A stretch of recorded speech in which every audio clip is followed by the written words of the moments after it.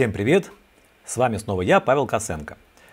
Сегодня я вам расскажу, как обрабатывать, как делать цветокоррекцию для динамического изображения, снятого на современную кинопленку. Речь пойдет о формате Super 8, в данном случае это любительский формат, но в принципе те а, подходы, которые я вам сегодня продемонстрирую, на мой взгляд, применимы для любой пленки, будь то 16 мм, 35 мм или даже 65 мм, потому что мои подходы базируются на аналоговых принципах цветокоррекции изображения в кино. Как раз вчера я получил свежие сканы свежей кинопленки Super 8. А, пленку в наше время можно купить без проблем, компания Kodak ее производит. В России творческая лаборатория «Среда» продает кинопленки, она же их проявляет и сканирует. Я отдал эти пленки в лабораторию, получил скан. Скан в моем случае это видеофайл в формате ProRes. Это нормально контрастное изображение REC 709. Собственно говоря, скан так обычно и выглядит. И дальше вопрос, нужно ли его обрабатывать, нужно ли, нужно ли делать цветокоррекцию. Если да, то в какой степени. Вот давайте об этом сегодня и поговорим.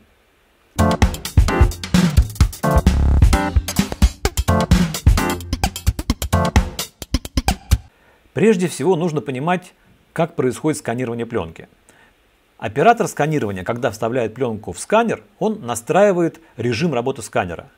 В первую очередь он настраивает баланс белого и э, яркость подсветки, то есть экспозицию сканера самого. Соответственно, изображение может получиться на скане более темное или более светлое, более теплое или менее теплое. Это может нам с вами, как заказчикам сканирования, операторам и в каком-то смысле режиссерам нашего маленького домашнего кино понравиться, а может не понравиться. А, поэтому мы вправе сделать цветокоррекцию небольшую, примерно в той степени, в которой она могла бы быть сделана на монтажном столике аналоговым образом. Конечно, в цифровом мире мы можем сделать любую цветокоррекцию, но лично я придерживаюсь принципов не выходить за пределы той цветокоррекции, которую я могу сделать полностью аналоговым способом. Так как сканирование происходит покадровым образом, то вы можете заказать разные виды файлов. Это могут быть компрессированные MP4 файлы, это могут быть ProRes файлы, почти не компрессированные, у них очень хорошая степень сжатия, почти без потери качества. Также вы можете заказать полностью некомпрессированные AV файлы и даже файлы DPX или TIFF. То есть это будет отдельная папочка, где будет несколько тысяч файлов TIFF, которые потом вы можете объединить в видеосеквенцию. Я лично предпочитаю формат ProRes. Я экспериментировал с разными форматами, но мне больше всего понравился ProRes, с ним удобнее работать. В этой кассете 15 метров. Это примерно 3,5 минуты видео будущего нашего. А, стандарт съемки на формат Super 8 18 кадров в секунду. Не 24, не 25 стандартный, а 18. То есть изображение у нас будет слегка дерганым. Это нормально. Так задуман формат Super 8. Он все-таки любительский, не забывайте. Итак, давайте посмотрим, что из себя представляет файл сканирования. В моем случае это ProRes, расширение файла MOV.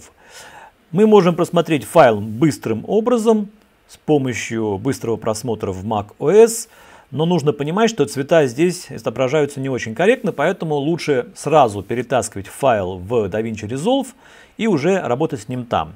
Я это прямо вот так вот мышкой делаю, и первое, с чем я сталкиваюсь, это с тем, что DaVinci мне предлагает изменить э, frame rate нашего проекта, то есть частоту кадров, с которым он будет существовать. По умолчанию частота кадров в создаваемых проектах DaVinci Resolve 24 кадра в секунду, но, как вы помните, мы с вами работаем с файлами 18 FPS, поэтому я соглашаюсь на такое изменение частоты. Действительно, а, мне будет нужен 18 FPS. А, длина нашего клипа 3 минуты 27 секунд. Собственно говоря, это весь а, ролик, вся пленка отсканированная целиком от и до. Здесь есть какие-то технические поля, э, недоснятые моменты, это все мы потом отрежем. Но при сканировании захватывается все, это грамотно.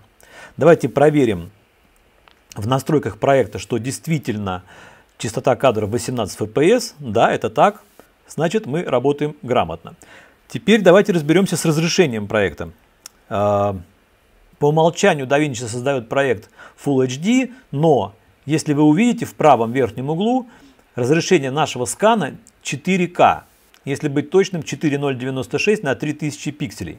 Поэтому здесь я поставлю именно такое разрешение для начала. Ну, во-первых, чтобы у меня грамотное соотношение сторон в кадре получилось. Вот теперь оно, теперь у меня нет лишних черных полей.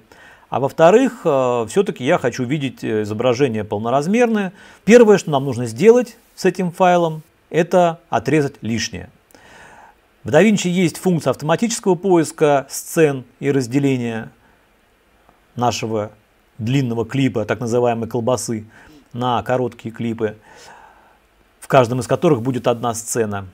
Но я не рекомендую пользоваться этой функцией, все равно она не очень корректно работает, и вам все равно потом придется вручную все эти сцены поправлять. Здесь у меня две части съемки. Одна часть съемки была на Баренцевом море, вторая часть съемки это мы дурачились с друзьями. Я вот хочу оставить вторую часть съемки и пока отрезать первую. Поэтому я нахожу начало первой сцены и Command обратный слэш отрезаю все лишнее. Первую часть я вообще удаляю, она мне в принципе для этого клипа не нужна. А, также можно отрезать в конце, какие-то вот э, служебные, не отснятые кадры. Но я этого не буду делать, потому что, может быть, мне это пригодится. Дальше мы проигрываем наше видео и находим стыковки сцен, то есть нарезаем наш клип на сцены. Почему это важно сделать? Потому что цветокоррекция всегда идет посценно. Каждая сцена немножко разное освещение, разный, вот была сейчас у нас сцена, разное освещение, немножко разный баланс белого, разный свет может быть, а, разные экспозиции может быть у пленки, да, то есть вы можете по-разному снимать, поэтому все равно цветокоррекция делается посценно. Вот у меня смена сцены, я отрезал. Проигрываю дальше до следующей сцены и отрезаю. Вот у меня идет следующая сцена. Можно проигрывать в убыстренном э, режиме, но я обычно не использую это. Вот у меня пошла другая сцена. Вот я нашел где кадры меняются, отрезал.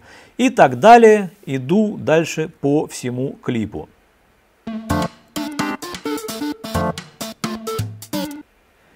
Иногда могут попадаться вот такие вот пустые сцены, я их э, обычно вырезаю. Это между сценами, не экспонированные или наоборот засвеченные кусочки пленки, их можно сразу вырезать. Они, иногда они пригождаются для декора, скажем так, нашего видео, но обычно я так не использую их.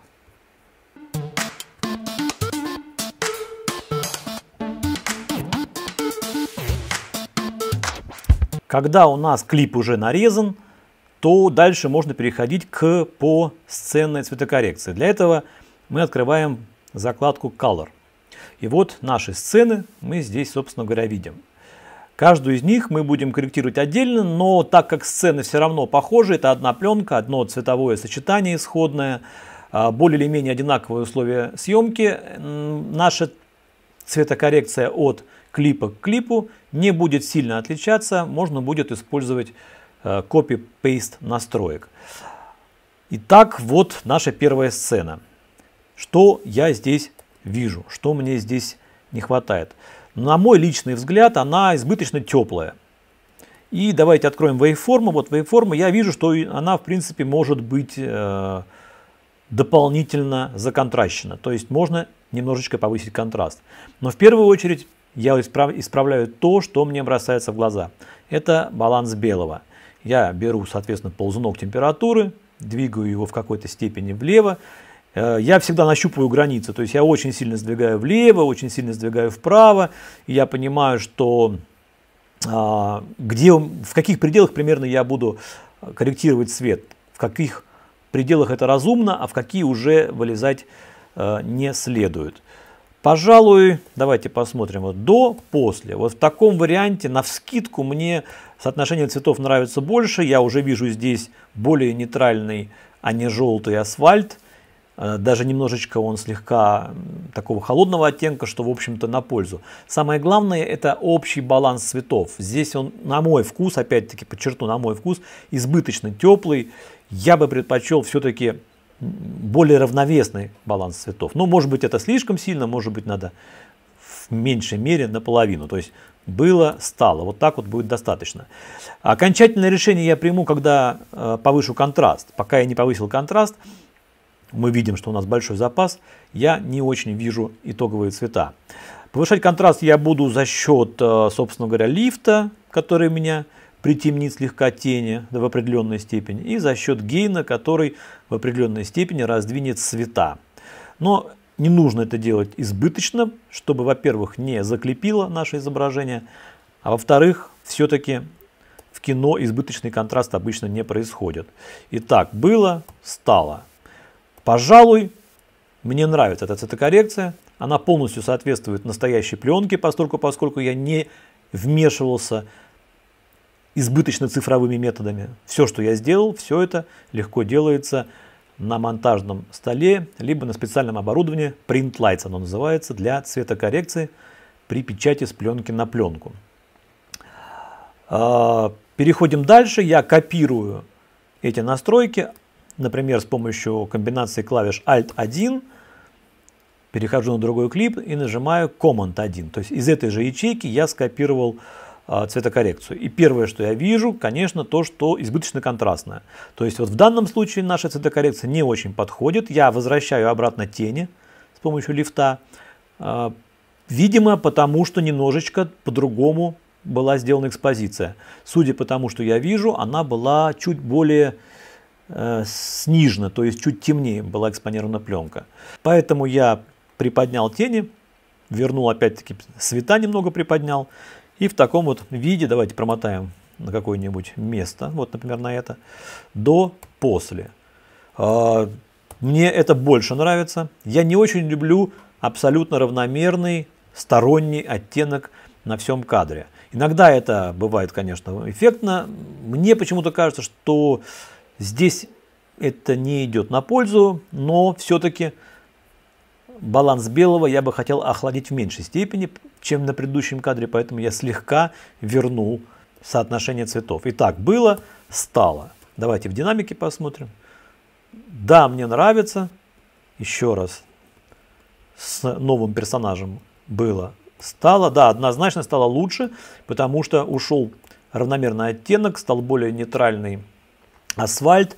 И э, само изображение стало более вариативным, то есть больше цветов появилось. Здесь все цвета были похожи друг на друга, они все были как бы избыточно загрязнены.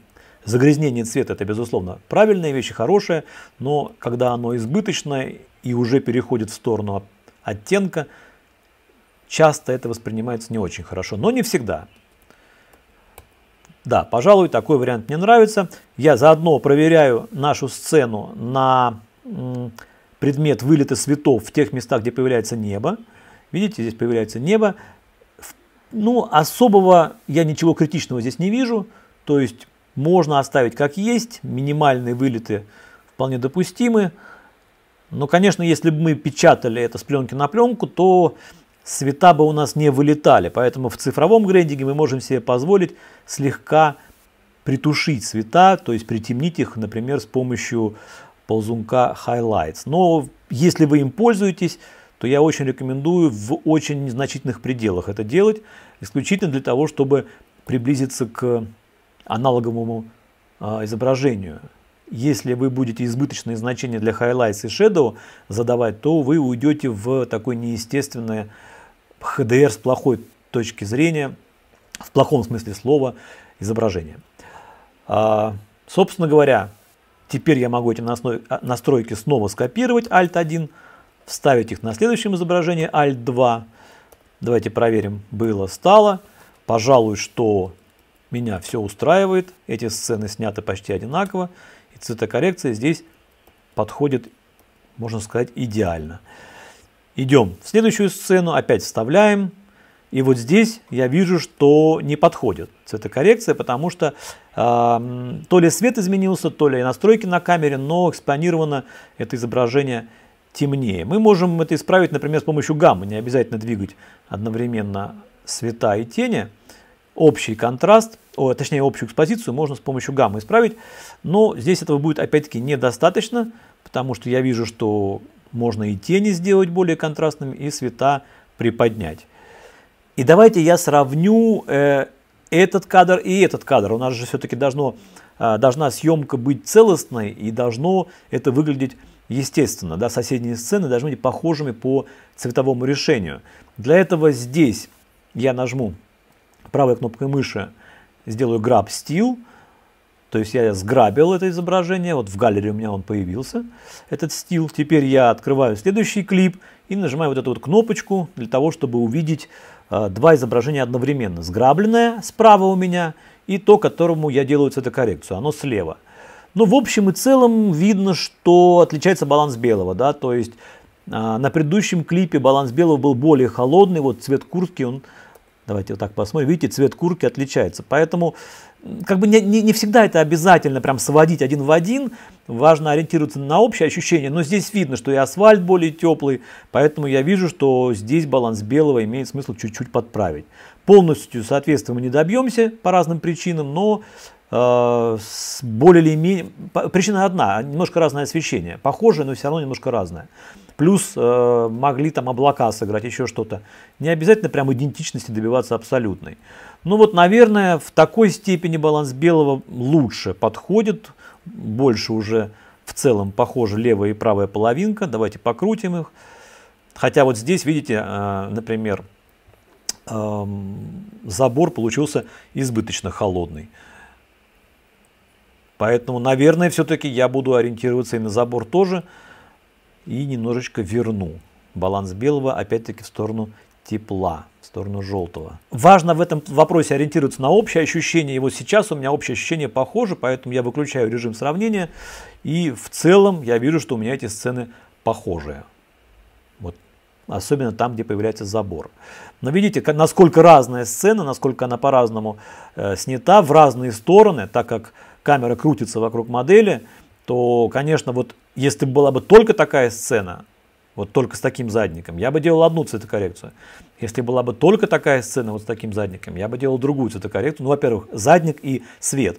Но так как у меня все в одной сцене, я вынужден искать некие компромиссные варианты. В принципе, баланс белого можно сделать вот здесь вот один, вот здесь вот другой. И через кейфреймы его плавно изменять. Но это уже, на мой взгляд, э, слишком заморочено для Super 8 и для пленочной цветокоррекции. Ну вот, собственно говоря, таким образом мы и делаем всю коррекцию пленки от и до, сколько у нас сцен есть, столько мы и делаем.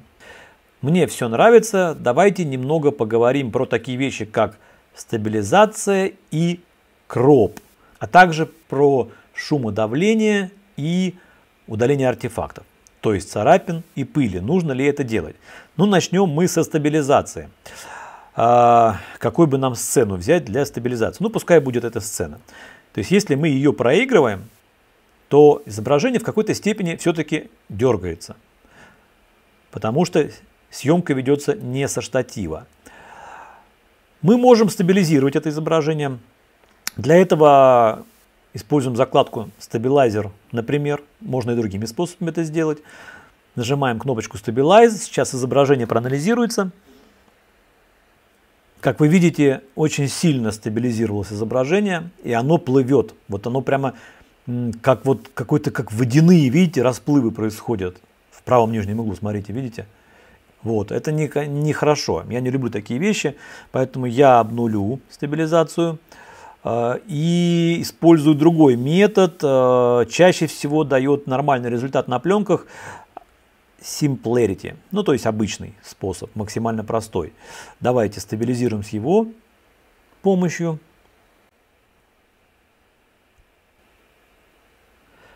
На мой взгляд, такая стабилизация более естественная. Вот мы можем ее отключить, включить. Но вы видите, как изображение начинает подтормаживать, потому что у меня уже а, в данном случае применяется некоторая обработка, которая не очень простая для моего компьютера. А также мы видим, что waveform у нас стала немножечко странной. Это происходит потому что мы работаем в DaVinci Resolve 17 бета версии, и вот такие глюки еще в ней возможны. Но для нас это не принципиально, потому что цветокоррекцию мы уже за закончили, на waveform мы смотреть не будем. Давайте ее отключим, чтобы она нас не смущала. Обратите внимание, что без стабилизации и со стабилизацией изображения отличаются, поскольку, поскольку происходит легкое зумирование. Мы, в принципе, его можем отключить, это зумирование. Но тогда у нас будут гулять рамки. Смотрите. То есть изображение старается стоять на месте, а рамки гуляют. Э, ничего страшного в этом нет. Так можно использовать. Если вы хотите оставить рамки, вы вполне можете использовать вот такой способ, когда они будут гулять. Также вы можете сделать зум, то есть оставить галочку зум включенный. Рамочки у вас уходят, но остаются небольшие краешки изображения, они тоже гуляют, э, но вы уже практически потеряли перфорацию. Но и также вы можете дополнительно зазумить изображение, например, во вкладке Edit мы выбираем наш клип и делаем ему легкий зум, например, 10%. И теперь вы получили вот такую вот картинку, без рамок, вполне себе стабилизированную, вполне себе неплохую с точки зрения того, что изображение не дергается, но без рамок. Э, я не всегда считаю, что нужны рамки, иногда они не нужны. Но, конечно, часто очень мы любим их оставлять.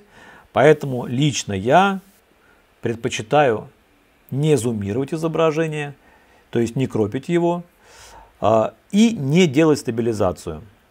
Иногда это хорошо, иногда нет, но вот так снято. То есть вот более оригинальное без стабилизации изображения, оно более натуральное, скажем так. Оно более соответствует тому, что бы вы увидели на проекторе экрана. Если для вас важна стабилизация, то нужно максимально ее делать при съемке. А, то есть я вам показал, что можно стабилизировать, можно при этом откропить частично или полностью, а можно этого не делать. Я предпочитаю не делать. То есть я ставлю галочку Bypass Stabilization. Вот. Такой вариант мне нравится больше всего.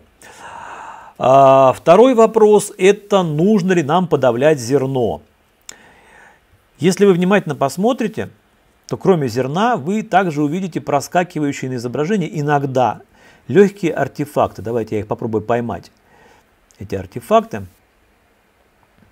Вот, вот здесь вот белая точка появилась, видите? Это артефакт. В принципе, его можно на постпроцессе убрать, так что вы его не заметите.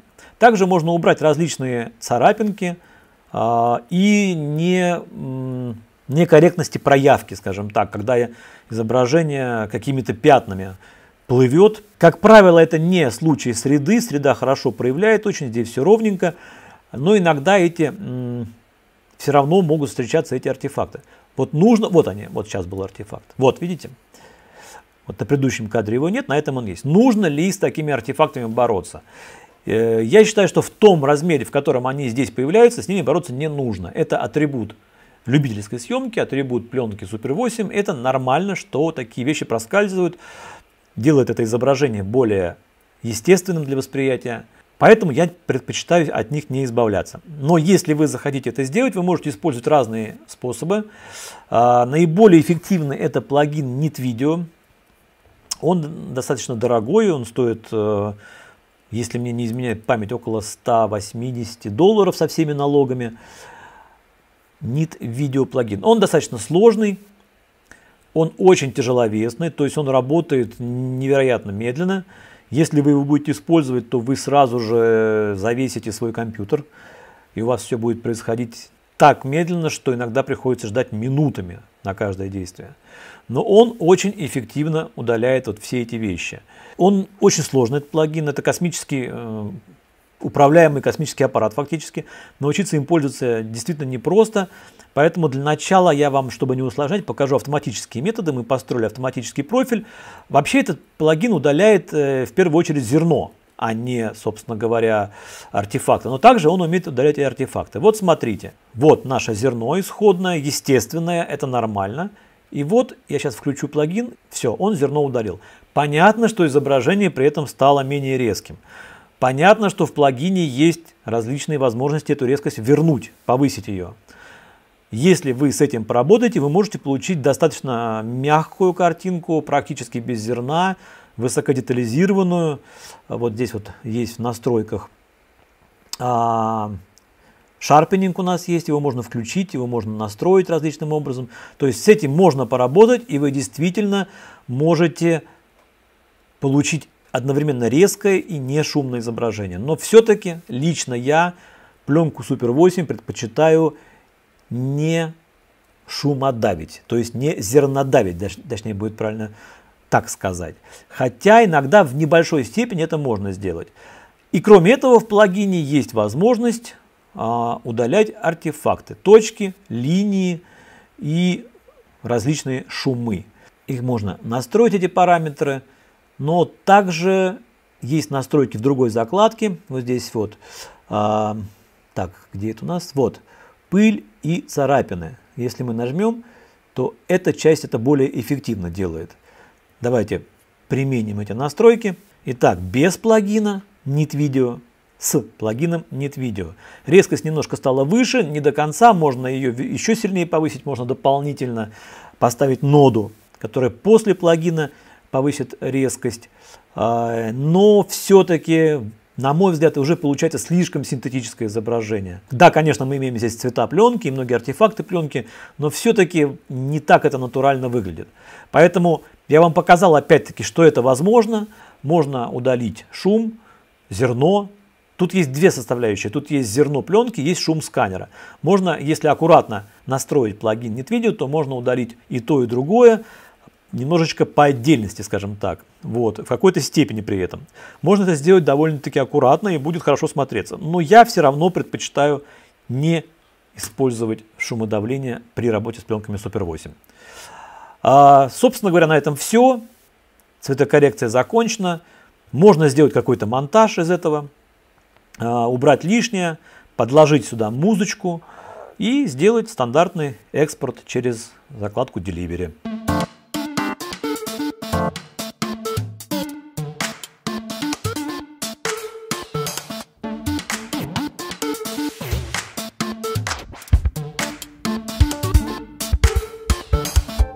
На этом все.